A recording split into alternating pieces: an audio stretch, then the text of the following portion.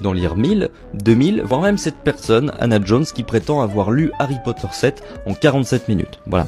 Mais elle, c'est bidon parce que le livre était déjà publié et moi, si je veux, je peux très bien lire Les Misérables en 5 minutes, hein, vu que je l'ai déjà lu. Si ton regard à toi fait à peu près ça. Tu fais ce qu'on appelle des saccades. Tu t'arrêtes sur quasi tous les mots, sauf ceux que tu croises tout le temps, tu les intègres, tu passes à la suite, etc. Alors, on l'a vu dans la vidéo, le mec met le petit point pour suivre euh, son texte. Alors, c'est pas du tout ça. hein. Si tout le monde faisait ça, il serait déjà un lecteur rapide. La plupart des gens, en fait, leur œil voit tout ça du texte. Donc, ils se baladent là-dedans et c'est pour ça qu'ils se perdent. Et d'ailleurs, sur euh, la vidéo de démonstration, on voit pas un truc, mais la plupart des gens, non seulement ils font pas ça, mais en plus ils font des régressions inutiles, c'est-à-dire ils reviennent en arrière parce qu'ils n'ont pas compris.